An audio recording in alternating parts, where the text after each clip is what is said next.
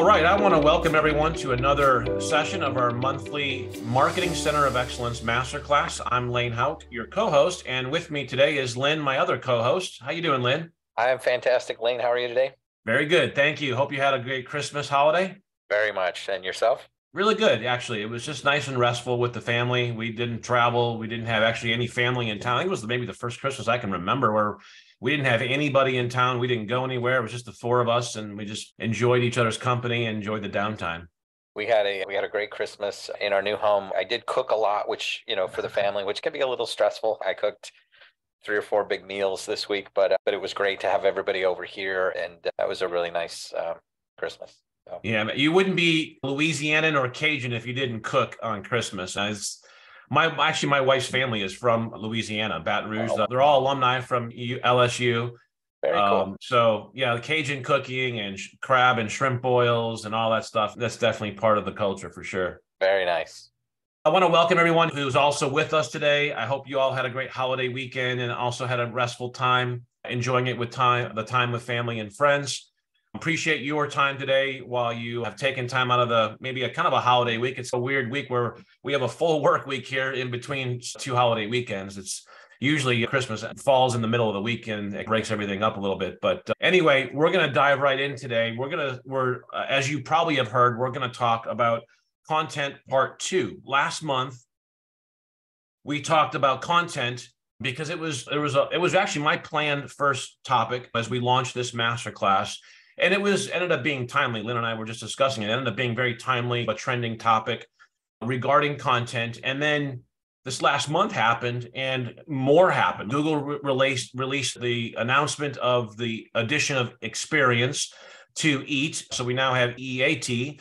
And then we also had Google also released released sorry the uh, the Google Spam link update for December. So they've Google SpamBrain is working double time to try and detect spam links, um, SEOs trying to game the system, so to speak. So it also happened here in December. I also had a lot of feedback and questions, follow up from last month about how do we really implement authorship into our strategy. So we'll maybe recap a little bit about that as well.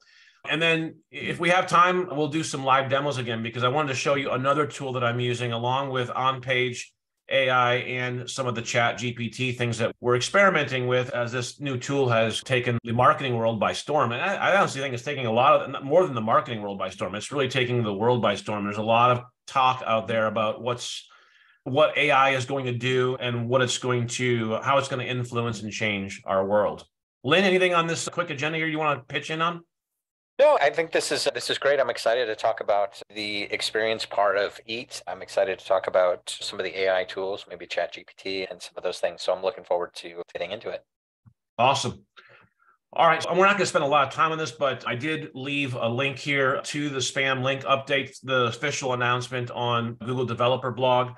But it's utilizing Google's AI based spam prevention system. They term it SpamBrain to nullify unnatural links. Unnatural links would be any link that they determine that was purposely placed, paid for, but not necessarily, or, but not noted as a sponsored link. Things like that, where you're trying to game the system and move the needle in SEO. They want it all to be organically. So if someone picks up my content or links to my content, they want that to be 100% organic and just because my content is great. Now, that doesn't mean that you can't make great content and syndicate it, distribute it, promote it, market it everywhere to try and get people to pick it up. And that I think is the underlying premise of SEO is creating great content and then doing all the things that you can do from a marketing standpoint to get that content in front of the target audience. The spam link update is actively rolling out. So we're in mm. sitting here in the middle of an active rollout of the spam link update. So that Google said they expect it to finish by the end of the year. The helpful content system is also still rolling out. That has been uh, what I have seen and what I've heard with kind of fingers on the pulse, ears to the ground, so to speak, is that we're continuing to see the SERPs change. We're continuing to see certain sites get hit with that site wide signal. In fact, I talked to a couple of agencies this last week whose clients' websites, one of them had been hit uh, by the content, the helpful content rollout. It was very obvious in in October. Uh, actually, it was in November. in November, you could see it just it just fell off the traffic. It was like a cliff. When we evaluated the site, there was a lot of duplicate content from primarily meted out into location pages. So the location pages on the site were just full of duplicate content. There were about 30 of them. And those duplicate content pages were collectively were more than the rest of the site. I was pretty obvious to me. I'm like, man, this is a helpful content site-wide signal. All those duplicate content pages were flagged. The whole site got flagged, and the traffic just literally fell off a cliff. Yeah, interesting. So, I think uh, I'm sorry to interrupt there, but no, but I think I know who you're talking about, and I got to be honest. I would have argued with anyone, and I have argued with anyone that duplicate content penalty doesn't exist. I would have argued that that duplicate content penalty was designed to stop guys like you and me from building 10 sites all trying to hit the same keywords and it didn't exist across one single site until I saw this site. I it's the first time in my life in my 25 year SEO career that I've seen a penalty like this and I've, and it perfectly correlates with the helpful content update. I don't know, it's a tiny bit anecdotal, but it's the first time I've seen anything like it. And I think it was number that that I'm just trying to. I saw several sites down, and to to Lyn's point, I've seen more than one of these in the last say month or two because of how our work with multiple agencies. I just get more agencies coming to me than than that than probably all of you do, and so it's a it's you get a kind of a little bit more of a macro view. And I've seen at least a half a dozen sites that have that kind of hallmark cliff, and it was between September October where that started to happen combined with the helpful content update and the new E and Eat, we have a lot of changes, notwithstanding the spam link update, which Google has been constantly at war with. So, just as a recap, helpful content is people first content that demonstrates Eat. And I say that because Google has really reinforced that in their announcements and some of the interviews that since this is all, even before Google released the E experience in Eat, uh, just last month we were talking about eat and how important it was in term in terms of identifying helpful content. And, and this really gets worked its works its way into the quality guidelines. So you can really see eat and the new e experience in eat when you get into the new release of the quality guidelines so if you read those quality guidelines you can really see it in many different ways how they're instructing the raters to use eat as a framework for identifying helpful content that's going to pass the mustard test, especially if it's ranking on page one. Now, we know not every page of content is going to be reviewed by a human quality content rater. That's just, it's not feasible. But if you're linking on page one and it's for a competitive term, I would absolutely expect a quality rater to, to hit that page at some point because that's what they're all about. So if your goal is to get to page one with a page of content, then you need to also remember that, or that's what we talked about, I think last month, is writing your content for all three audiences. Okay. So remember, we need to write our content specifically for humans. Obviously, it's going to miss the mark if it's even if you rank on page one, ultimately the goal is to get a human being to hit that page and then convert into a lead if the content is so off, even if it ranks, if it's not going to hit the human beings in the target audience in a way that is going to cause at least some conversion or conversion ratio, then what good is it really, right? Unless you're just running AdSense or something like that. Write it for the manual quality rater, just talked about that, then write it for the bot. And I think you can do all three of these inside of an article and inside of the process of writing an article. So the question now is the question of the day is how do we demonstrate this new E experience in our content? And I'm, I think it's probably the question uh, and answer is probably pretty obvious, but we'll get into some specifics here. Number one, I really think LinkedIn is going to be a great place to do this. Link link to your LinkedIn profile, have links to certifications or diplomas that you might have, list awards and recognitions, and again, you can do all of this within your LinkedIn profile if I'm a quality rater and I'm assigned to go evaluate a page of content and I identify an author, which is number one, the job number one of a quality rater is to determine who's responsible for the content. That's their first job. And so if they can't identify human, then they're going to fall back to the company or the entity that eh, eh, hosts that website. But if it can go to a human, a human being, an author, an individual, which is better, that's the best practice here, then I'm going to go look and see does this person have a LinkedIn profile? I'm going to just Google search their name as an author. What is their experience? What do I find? And so if you go and Google your name, you Google Lane if you Google my name, my LinkedIn profile is going to pop up right in the top three or four results. It makes it easy then for somebody to then go and validate what is my experience? What are my certifications? What are my awards or recognitions? What are my skill endorsements on my LinkedIn profile, which is a really good indicator of experience, right? If other people are saying, hey, this guy is good at SEO, this gal is really good at whatever, those third party skill endorsements will really help demonstrate experience. I also like the author site as a hub. So, you know, if you go to lanehouk.com, you'll see I have like an author individual site that can also serve as a hub, a link, a link hub. I can link out to my other author profiles. I can link to the different sites that uh, I'm an author for or that uh, I have ownership in those companies and things like that. There, Lyn, on experience? I think a lot of this, I know you're going to get into this a little more, but yeah, the experience of the user, you got to think about things like, I don't know if you wrote an article about skydiving, for example, yeah, you've never skydived. You know, I think that experience shines through in the content. I don't know how well they would rank something where you don't have experience in the topic. And so I think with entities, they can tie all of those things together and build a profile on you. And the authorship is just really important. Yeah, agreed. And there's two. There's a question here that Mike's asking that's relative here. So Mike's asking, is there for WordPress sites, is there a recommended plugin to add for the author bio? So understand that by default, WordPress is going to give you an author page if you set it up properly. And so you can go to my author page. You can see it right here. It's uh, slash author slash Lane Houk. And it's going to have all the articles that I have authored here on my author page. Okay. This is this happens by default with WordPress. You don't even need a plugin for this. Certainly you I haven't that's a good question. I haven't experimented or looked for other plugins that might take authorship to another level inside WordPress but ultimately i just want to have links for the bot to see hey this is these are all the different articles that i've written i actually will send links to this page here mike to as part of your questions in my articles i will link to my author pages and then one other component to this is i would definitely put about the author at the bottom of your article somewhere. It's a long article you can see. But you know and then this is where you can link to other places other your author profiles other company sites what have you. Here i'm going to my linkedin profile. Here i'm going to my personal site. Here i'm going to my podcast page.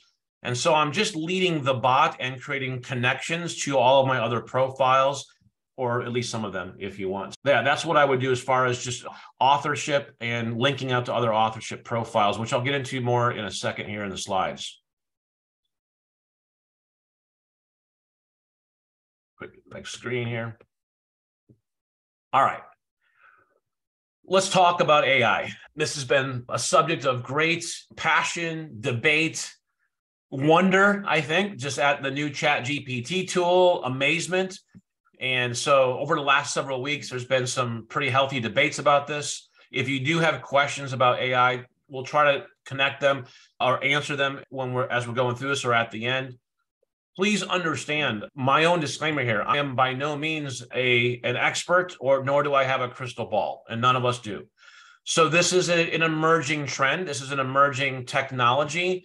It's an emerging issue, and I think it's an emerging opportunity. But no one has the crystal ball on where this all goes. And I think specifically, a lot of us want to know what's Google's stance on this. Like, how is this going to work itself into the game of SEO, content marketing, client work, and all of that. And again, I don't necessarily have like solid answers for you on everything, but we'll try and present to you guys some of the different pieces of, of information around this topic. So, first of all, I want you to see what Steve Toth has said about this. This is just a couple of days ago. Um, I follow Steve. He's a really smart guy. He's been in the SEO game, SEOnotebook.com, really good resource there. And so I'm just going to read it really quick so you guys, uh, just for the sake of discussion. He said, Today I asked G- ChatGPT to create FAQs related to a topic using certain keywords. Then I asked it to create FAQ schema based on those Q&As.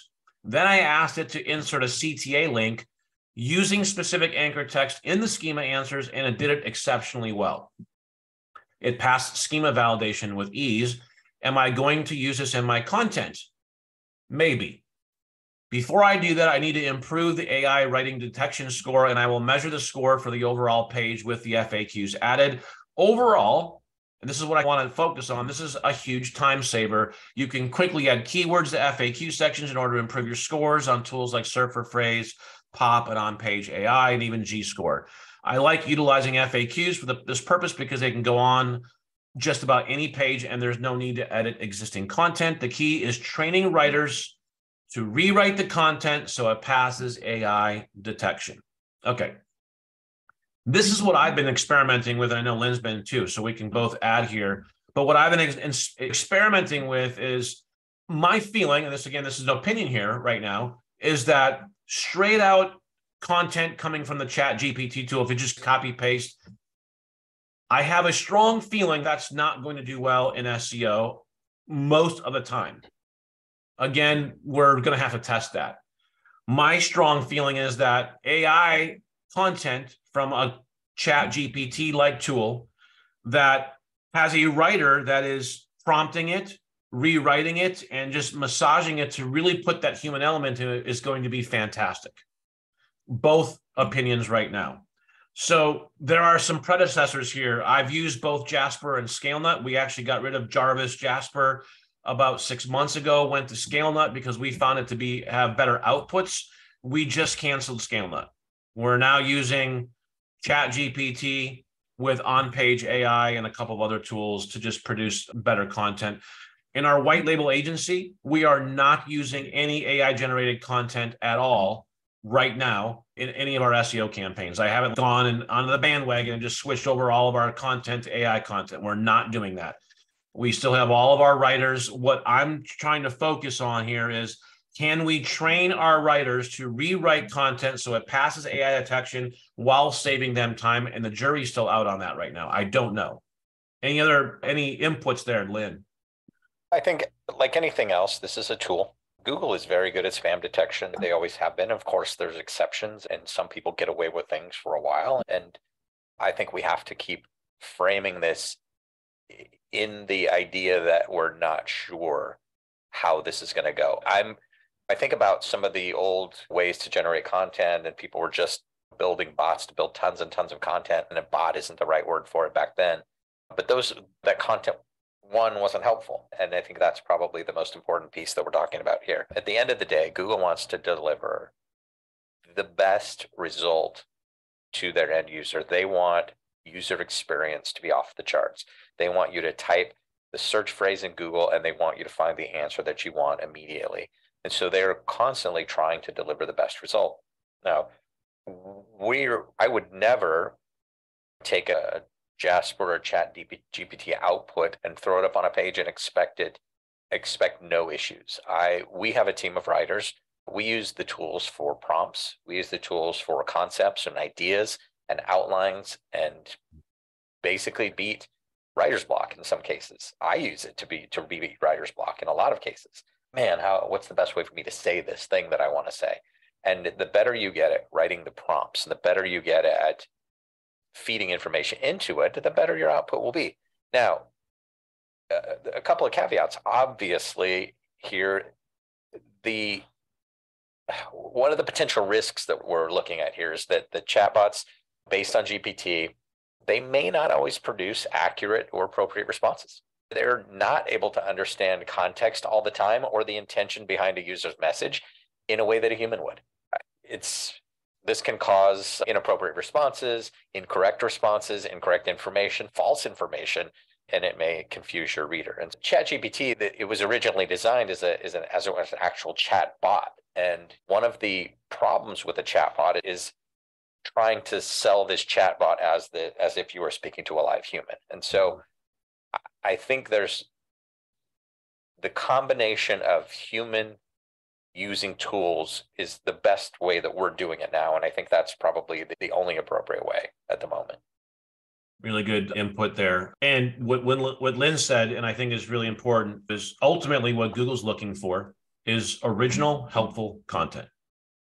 Let's not get more crazy than that and understand that what, that's what we need to produce for our clients if we're an agency for ourselves in our own companies or agencies is produce original helpful content definitely use copyscape or something like that to make sure that you're number one putting out original content because that's the other risk here is that more and more people as they use the ChatGPT tool a lot of this content is going to be if especially if you use it copy and paste you're going to have duplicate content or a lot of it. So just be aware of that as well. But ultimately, I refer to this the this section of the Google spam policies in terms of content goes. So spammy automatically generated content is the issue.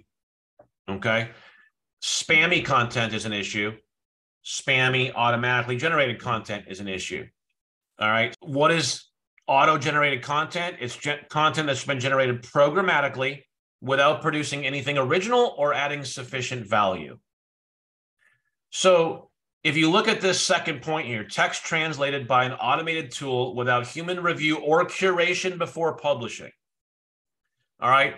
If I take a ChatGPT output and I put my own human curation and review into it, and I add my own experience to that output, that is a completely acceptable output to Google under their spam policies. It does not say you can't use ChatGPT or Jarvis or any other tool. It just says if you're just trans if you're outputting it programmatically from a tool and there's no human involved in that, you're just copying and pasting and publishing, then that's an issue. I think where the rubber meets the road with this is going to be in AI detection tools and trying to figure out at what percentage of content is it and this is what i'm experimenting with because i think this is really where the rubber meets the road from an seo standpoint is at what level is that content percentage wise going to be deemed to be not human human it's going to be human curated content even though you can detect some ai content in the page?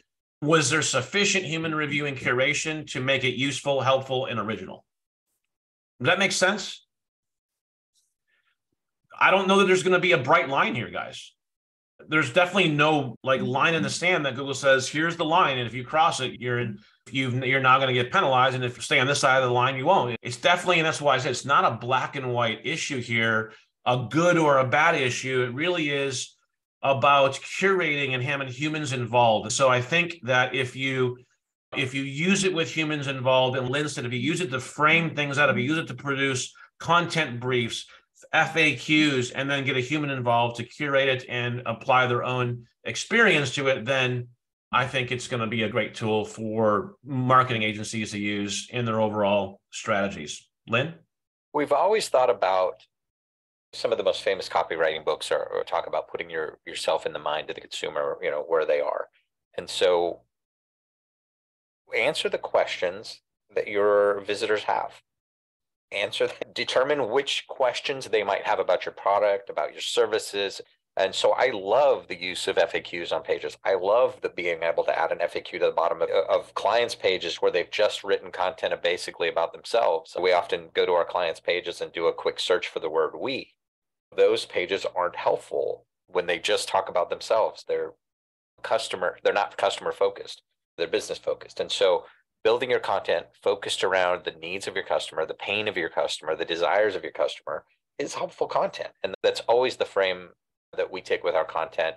And then again, we use these sort of AI tools as heck, we, we do keyword research. We're like, hey, what are the best keywords? Hey, what are the best questions? Hey, what are the best? And then we use that and put that together in a combination and create great content that is helpful to the visitor. David just asked, what tool are you using for AI detection? I am currently using uh, on page AI, and you can go here to AI detection and you can plug in your URL. So you have to publish the content first in order to in order to run the URL uh, against the AI detection. And then you can, and it'll give you an output based on what it finds. So you can see here it found 5.5% AI. We're good to go. Again, this is the percentage that I'm having to figure out and experiment with and just see, you know, how it does. But I'm using on page AI. I do have a link to a new a new tool here called Glitter, stands for Giant Language Model Test Room. It's run out of uh, some people from Harvard and MIT, IBM Watson Lab. And this is a free tool, and you can input your text here and it'll analyze it as well. But I am using on page AI for this purpose, David. And I think it does a really good job. And I'm just, I'm running my article, I'm publishing it, and then I'm checking it against AI detection. I'm using some AI to help me frame out FAQs, other things like that, a content brief, and then I fill in using human plus other AI tools as well, and then just experimenting with it. I can't say that I feel like I'm saving a lot of time yet. I do feel like I am, but I don't, I haven't, I don't have a before and after experiment. Here's an article I wrote completely from scratch on my own, and here's one that I wrote with AI assistance. I do writing, feel like I'm producing better content? content at least in the same amount of time. Go ahead, Lyn. I was just going to ask you, but are you writing more helpful content? I think I am. I think you are too. If you look at this article here, again, I don't know that's going to rank on page one because I'm going against these giants, search engine land, search engine journals. So we'll see. Marketing COE is a really, it's a brand new domain. It's only, it doesn't even have one DA yet. So I'm working on my getting my DADR, my authority page rank score up. But so whether this ranks on page one for this article of content, I don't know. but if you go through and read this article here, this is going to give you a re- really good idea of what EAT is all about. Is it all mine? No. I've used some from me, some from some AI tools, some from Google directly in terms of their own guidelines and what have you, and some quotes from other authorities like Search Engine Land. So just understand that. But yeah, on page AI. Okay, where are we here? AI tools. So I yeah, I wanted to I do have a link in here to I put it in chat here as well, how to spot AI generated text. I think this is a really good article. I would encourage you read it. It doesn't make a determination one way or the other. It just talks about the whole concept and principle of AI generated content or text, how our detection tools are working and all that. But it has good links in here to other resources as well. So would highly recommend you read that article as part of your overall just looking into this whole concept. All right. The next slide here. Okay. So content strategies. I just I put this picture in here. That's a tweet from Danny Sullivan because I think it's appropriate we haven't said AI content is bad. We've said pretty clearly content written primarily for search engines rather than humans is the issue. That's what we've focused on. If someone fires up 100 humans to write content just to rank, or fires up a spinner or AI, it's the same issue. So, original, helpful content for humans or people first content. Okay. And so I think there's a really good place for these tools to be used for research, framing, assistance to create even better content. So when it comes to your content strategy, number one, you've got to have some tools in your toolbox. All right. Like any plumber, electrician, contractor, if you don't have the right tools, you're not going to get the job done right, or it's going to take you a lot longer. So if you're going to write great content or your writers are going to write content, arm your writers with these tools. Like our writers are armed with these tools, and I'm providing some more training for them on how to use the tool, the research tools to help write great content in a maybe a little bit more efficient manner. Look at, I think, your strategy in terms of producing content series versus content pieces. I think too much agencies are looking at the content month in and month out as just a piece of content, just an article. We do art, one article a month, we do three articles a month, whatever it might be, and it's just articles, there's just pieces. I think if you take a step back and look at an overall topic or topic cluster, you and you look at just framing it in your own mind as we're going to write a whole series of content around this topic cluster I think you'll actually see a better strategy laid out, a little bit more thought into what articles are put out when. And you can bring your users along in a series of the complete guide to home plumbing. Why couldn't you, as a plumber or as an agency for a plumber, write a complete guide to residential home plumbing? And then just in a series, start to bring out all the different topics and issues around residential home plumbing that are going to be great pieces of content for a user. Guarantee the bot will like things like that as well. Just on, uh, maybe a little bit of a shift in your thinking of looking at your content strategy more as a series around topic clusters versus just individual pieces of content each month. If you're going to do this and th- think like this, it will require more of a plan or an outline or a brief versus just throwing content up every single month without really any overarching plan or strategy. I also think that if you look at content planning at quarterly versus monthly, you'll also start to look at this more as a series versus pieces. People first content written for humans is going to have really good instruction and really good practical applications. Again, I think we've talked about this and we've seen it in some of the other people that have mentioned it. FAQs, the questions that people have, are really good to include in your content. So, what are some other tools that you can use for writing or framing out content? We've talked about ChatGPT. Another tool I'm experimenting with, which I really kind of is Text Cortex. It's a they got a Chrome extension that you can run. I'll show you that here in a second. And then Inlinks is a really cool tool, especially used with ChatGPT. On Page AI is a lot. There's some really good similarities between Inlinks and On Page AI, but Inlinks has a really cool tool. I'm going to show you here in a second that I just have loved to start experimenting with. Before I get into that live demo, is there any Lyn, you want to say anything about our previous slide there on content strategies? No, I think we're I think we're hitting the marks there. Um, I know I we got some questions too, so I want to hit these questions yeah, too. Yeah, there's a few questions in here that maybe we could that we could hit really quick too. Mark asked it, what happens if you take on a client that has older blogs that were written by someone else? Would you run them through a tool before deploying the old blogs into a new site? Yeah, I would definitely run through Copyscape because if they've been indexed, then that original content is going to be attributed to a different canonical or potentially even a different entity. Run the art, the blow. If those blog articles are just sitting there and they've never been indexed, yeah, which is possible, then great. Then, but run them through Copyscape and you'll know. Yeah, and the other question is that content useful? Is it helpful? Is it good content? And whether that's a tool or just some human interaction, is that still in line with? Does that support uh, any other pages on the site? Do they actually have any links in it, or did they? Is it purposeful? Because you know, just writing content just to write content is no longer the way to do things. Probably never was.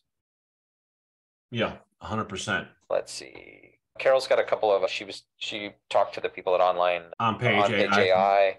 Looks like yeah. I had tried to. I had tried Carol to paste text into there, and it didn't work. So maybe they fixed it in the last week or so. I'll try it again now instead of having to just plug the URL in. I had the same experience as you, Lane. Yeah. Uh, and then let's see, if you're writing an article about a topic you aren't an expert in, AI should speed the process. Yes, I think that it's we use these tools to find the questions and find the answers that we really need to. I don't know. It's good research.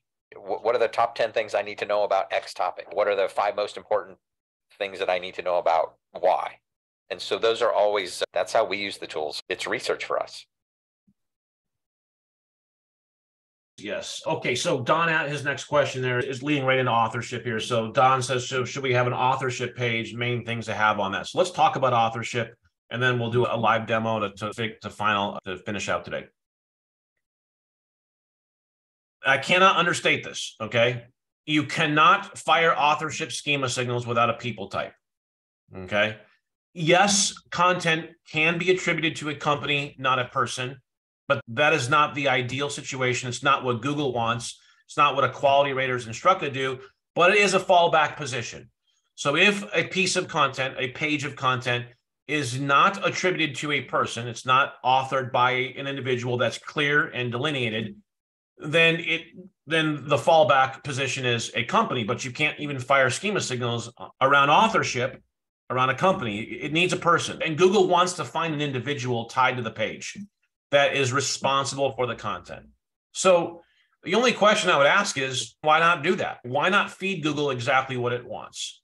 So this just takes a little extra setup. It's not a lot, and you can certainly go, you can do a little, you can do a little more, you can do a lot, or you can do a lot more with authorship. The basic things are like number one, WordPress has authorship built in. I already showed you that. As soon as you set up a user in a website, all right, that user equals an author. Okay.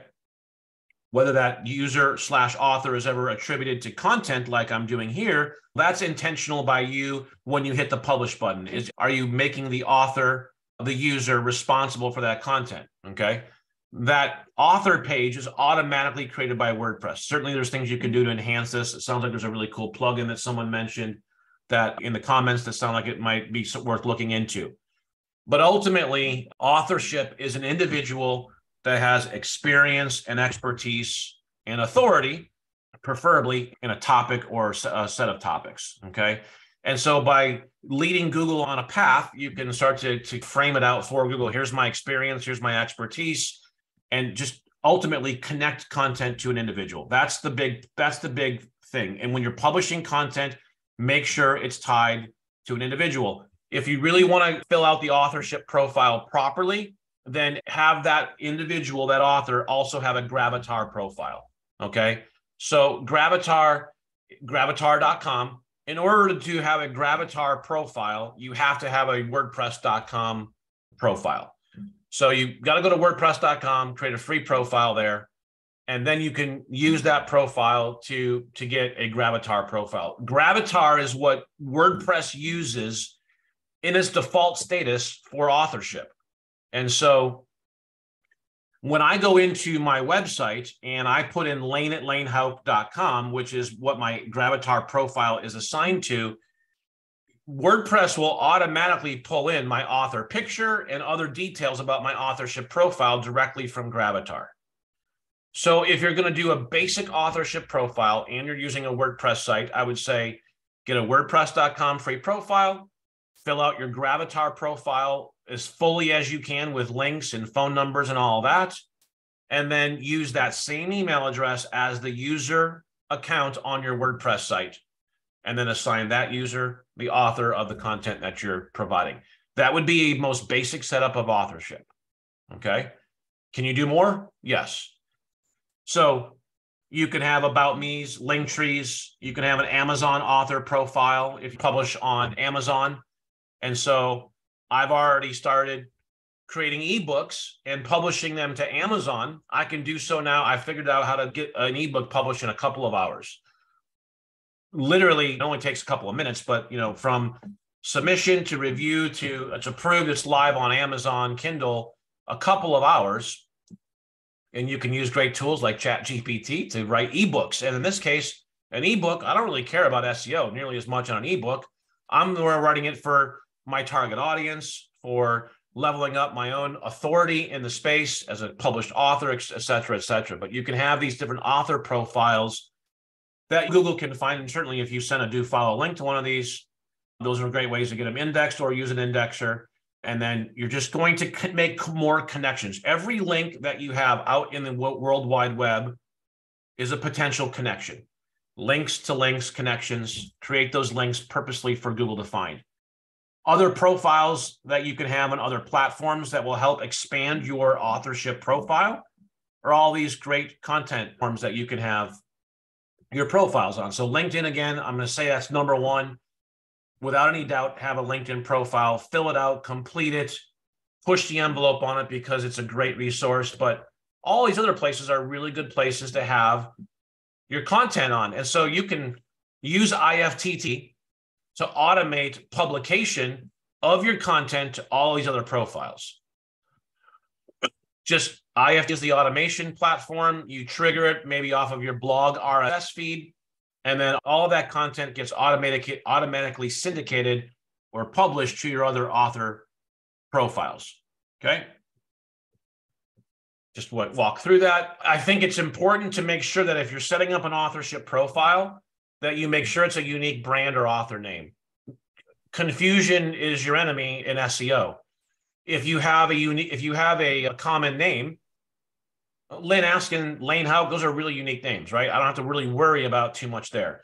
But if your your name is Stephen Miller, okay, you might want to consider making your name unique, like Stephen A. Miller. You use your middle initial, or Stephen Miller, Stephen A. Miller, comma MBA if you have an MBA or something like that to make it truly unique so that when you write content and you start to link that and build that authorship profile, you're not competing with every other Stephen Miller out there in the world, right? So this is more of a branding issue than it is an SEO issue, but it really is really crosses both spectrums there. Use the same email address. Just said that. Make sure you use your same email address. Complete it like anything else. If you don't have a if you have an incomplete profile, you're not going to get the max out of it. I already talked about linking them together in a nice loop. Set up on many, as many platforms as you can. I use a tool called designrr.io to make the publishing of an ebook extremely easy. I could take this entire piece of content right here, which is a substantial piece of content. It's over 5,000 words, I think, 4,000 words. Yeah, 4,500 words right now. I could take this and turn it into an ebook in a couple of clicks and maybe about five minutes using Designrr. Okay, so that's a really cool tool. If you haven't used it before, highly recommend it and then get an ISBN assigned to your ebook. An ISBN is a unique number for your book. And you can, there's a link to how to get that ISBN here. It's from myidentifiers.com. But an ISBN will help with SEO. And it also helps with just get, making sure your book is unique with its own ISBN. I always launch a press release for every piece of content we publish. That's just part of our SEO campaigns every single month we got content, but we're going to amplify that content, not just by putting it on a blog. We're going to amplify that content by RS feeding it through IFTTT to a set of syndicated authorship accounts. And we're going to send a press release out about it to amplify it in that respect. All right. I think that is it. Yes. So let's go. Are there any other questions here before I go into a couple of quick demos? Yeah, we're, uh, 50 minutes in, Lane. I just wanted to give you a little heads up. It's 11, yep. we're 50 minutes in. All right, so we got 10 minutes here. Let me just show you guys Inlinks and how I'm starting to use it with ChatGPT. So Inlinks and OnPage.ai are very similar. They're they are they all both have their own unique features that I really like uniquely. I hate having redundancy in tools because I hate paying for tools that are really similar. So I don't know whether I'm going to keep Inlinks yet. I really like on page AI so far but I've the more I use Inlinks, the more I start to look at as well. So I may keep both. But you can run just like you can on page AI. I can run a query, and then it's going to give me all this different intelligence around that keyword in terms of what needs to be in my content. Now, Inlinks is going to do the same thing. But if you go to content plan, once it's drilling that keyword, you see this new thing here called ChatGPT prompt. I can click on it and it gives me a bunch of prompts about this keyword that I need to have in my content based on the entities and related words that need to be in that content based on what's already ranking. Okay. So there's that's where some of that crossover with on-page AI exists. But these ChatGPT prompts are really cool. So I can copy this here and I can go right over to ChatGPT and I can copy it here and I can let it drill. Okay. And so rather than doing it all live, here and taking up time, what I did here is I went through and I copied each of these. Okay. And I went here and you can see it's already rewriting us here, but I already have it saved. So if you go, we go up here all the way to the top, you can see here's my first prompt. Write an article about Google E-E-A-T, start with a title, introduction, include blah, blah, blah, blah, blah, right? And so let ChatGPT do its thing, and here it writes. Now I took the second prompt from Inlinks add a section about guidelines. Start with a section title, right? Here it is. Now you can add your own words in here too. So what I did is I started taking words that I didn't see in Inlinks, like these words here, but I knew they were related to guidelines, and I was using on-page AI category or entity level words, related words, and I was just adding those into the prompts so that I would get more in there, and I would start to actually use both tools to produce even better content. Now, if I copied and pasted all this into a page and published it and ran it through the on page AI detection, it would come back 100% AI detected content. I don't feel comfortable with that, although I've read this and all this is really good answers. Like it's really good. So, what I want to do and what I've done in this article here is I've just taken all these prompts and different pieces of content and I have I've written in my own article that passes the tool as I've already shown you. So this is how you can use Inlinks or on page AI to create even more comprehensive in-depth content that really hits the mark. And then this new text tool that I'm using uh, here, Cort- Text Cortex. So you can see it's running down here in the bottom. Okay. I can open Creator Suite. And so I can take a prompt or some content from, from ChatGPT, and I can take this and I can have it rewritten by Text Cortex right here and hit create. And they have different type of templates. And so you can take a couple of different tools and create your own unique content from it and just make sure it's really accurate. But I found this to be extremely helpful in framing out with Inlinks. I did the drill. It really gave me the entire section for my content plan right here. I let ChatGPT tool really frame it out for me with the the content there, and then I just started to curate it, human review it, curate it, rework it, and ultimately rework it until I felt comfortable with the on-page AI detection output as a final score. Can you scroll down on that, and then what is the what does the brief look like here in here? Yes. Oh, so, okay. Yeah, you have to build your brief there. I just um, wondered if on the on the on page tool one, if it had no, it probably doesn't have one if you put the page in. It, it doesn't okay. do like the inlinks does a better job of building out a content brief and a content plan okay. without any doubt. And that for that purpose, I really like it. Some spectacular content briefs out of online or on page AI. Yes, uh, and you can see here more the more outputs that Inlinks gives you, and it's very similar. Like I said, there's good crossover here but there are some unique features about both that I really like. I think combining it with the text cortex component, I really like it. I just think that this can help even produce even some more original content or what have you. If you don't use on-page AI, what do I re- recommend for AI detection? I haven't used GLTR yet, but this is a free tool. And so you can use the GLTR free tool to and experiment with it. I haven't even used it yet, so I just found it today in my research. But this is at least a free tool that you can experiment with. Yeah, Stephen says in the chat that ChatGPT is very repetitive, and one of the things you need to do is go in and clean it out, and that's absolutely true. Yes, and it's one of the ways that they detect AI content is through the use of the word, the way you start your sentences, whether it's the or I or whatever, and so making sure that it looks like it's written by a human is really important. Of course, We've been saying all along that we need human intervention on all of this content. Raphael says, can you edit the outline briefs and in links? Yeah, you can create your own brief over here, content plan, and then really build it out as a project. Yeah, you can build it right in here. You can build it in on-page AI. You can build it in a Google document and just combine the intelligence from both. Obviously, you can see here, I can, I, the nice thing you can do here is, although it, it gives you the same kind of drill, but I can just click here and boom, it adds it right into my brief. I can say here, I want my H1 to be that. Well, I did that there, but I want my H2. And then, so you can really quickly and easily start to build out your brief in on-page AI, like Lyn was talking. I love both of these tools. I'm definitely not getting rid of the on-page AI because I've become, I just have fallen in love with using it for many different reasons in this new world of content. Inlinks, I really like this ChatGPT prompt and I like some of the way that they drill as well. And then this new text cortex Chrome extension I'm experimenting with as well.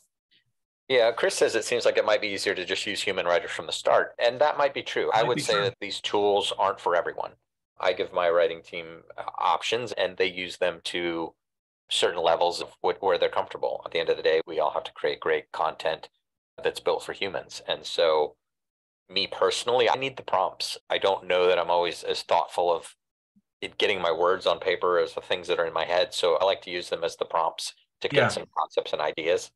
But certainly having great writers is important too, because you have to know what's good content, when isn't. So we'll tell you that the biggest challenge our writers have, it's we put out a lot of content every month for our SEO campaigns. It's the number one, it's the biggest piece of everything we do. I it's so important that I hired a full-time quality assurance manager just to read and review every single article before it goes to our agencies and then our clients or their clients.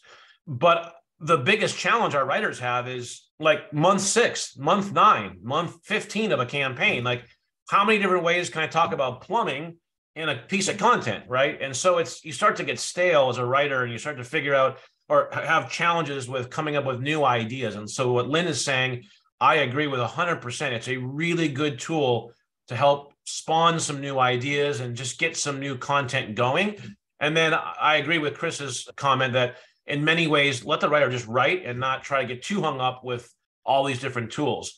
I'm experimenting with these tools and exposing them to you guys because this is a new frontier. And the question is can we use these tools to make even better content and potentially save some time?